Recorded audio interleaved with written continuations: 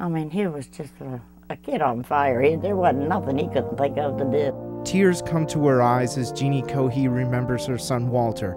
Better known as Trey, he died in Afghanistan during Operation Enduring Freedom in 2002.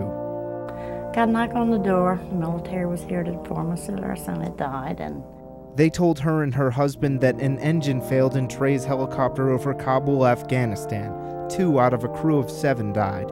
The Cohees have plenty to remember their son by, but his name here on the War Memorial in Salisbury helps with the pain.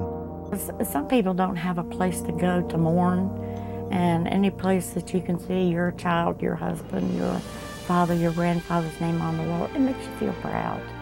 You know, one foot in front of the other, one day at a time, and, and just go. Like I say, some days you're not good, some days you're okay, and sometimes it'll be a month or two, you know, before you have a little breakdown. But But not all the names here on this wall have a story like Trey's. Jeannie and others are hoping to collect those stories to keep their memories alive.